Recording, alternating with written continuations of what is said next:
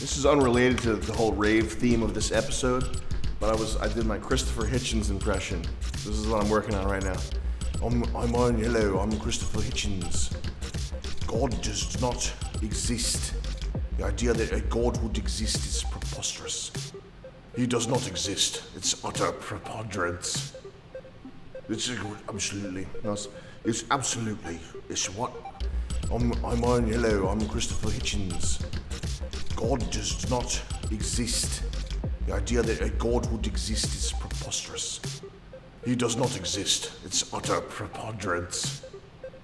It's absolutely. It's, absolutely. It's what? I'm, I'm on hello. I'm Christopher Hitchens. God does not exist. The idea that a God would exist is preposterous. He does not exist. It's utter preponderance. It's absolutely. No, it's, it's absolutely. It's what? Now I'm like a fish salesman, fishmonger in the UK. They all sound the same to me.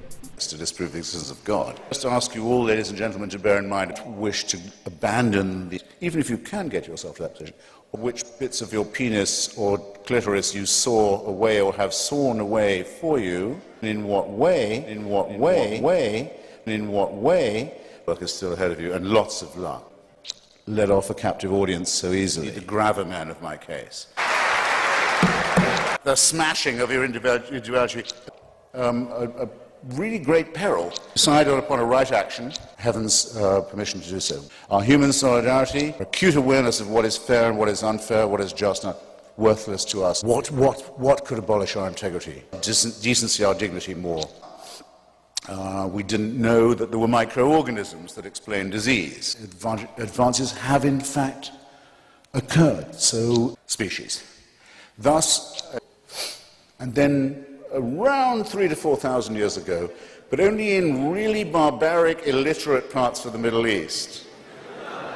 not in China, not in China or where people can read. And thus, it seems to me that the case for divine intervention and for the supernatural falls, and that we should be glad that it's fallen. And thank you.